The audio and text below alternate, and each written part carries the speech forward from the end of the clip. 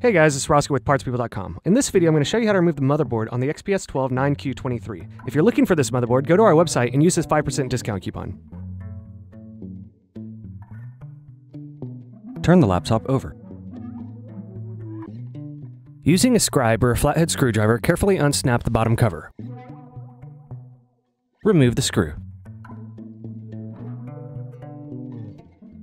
Remove the screws.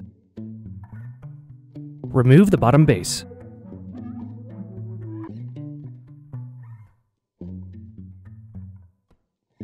Unplug the cable. Remove the screws.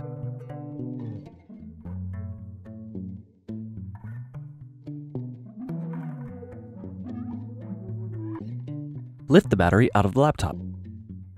Remove the plastic. Unplug the antenna cables. Remove the screw. Remove the wireless card. Remove the screw.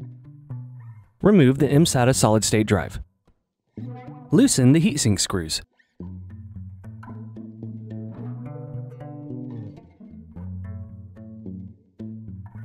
Remove and clean the heatsink. Unplug the cable. Loosen and unplug the CMOS battery. Remove the screws.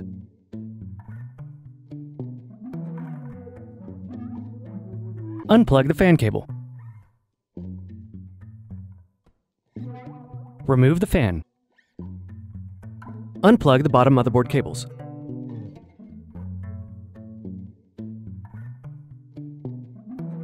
Unplug the DC jack.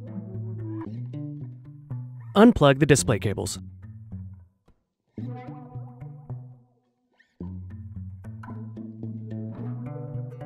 Remove the screws.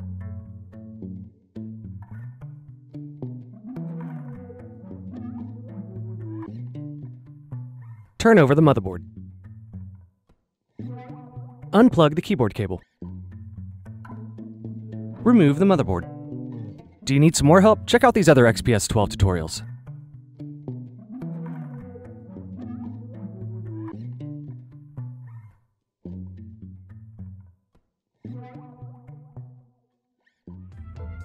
If you enjoyed this tutorial, go ahead and like the video and subscribe to our YouTube channel. Check out PartsPeople.com where we have hundreds of tutorials and hundreds of thousands of parts.